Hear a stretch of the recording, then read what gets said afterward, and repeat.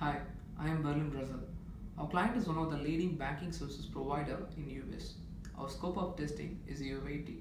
Our client came up with a requirement where the performance of the application to be tested.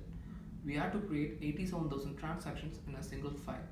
So we created a macro where all the 87,000 transactions are created in a single file with the delimiters. The macro which we created saved up to 18k USD. Our clients are really happy. Thank you. I'm proud to be an Hexawarian.